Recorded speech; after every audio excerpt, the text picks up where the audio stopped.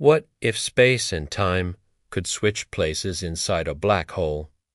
In new research on the BTZ black hole a simpler two plus one dimensional version scientists swapped space and time in the equations and discovered something wild.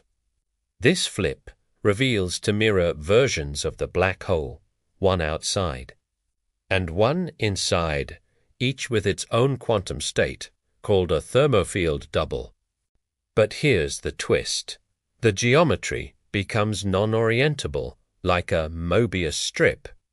You can't define left or right across the whole thing. This opens a new way to think about black hole interiors and quantum gravity. Even stranger, the math starts to look like theories from topological quantum matter, showing that black holes might behave like exotic quantum materials. This discovery could help solve one of physics' biggest puzzles. What is really happening inside a black hole?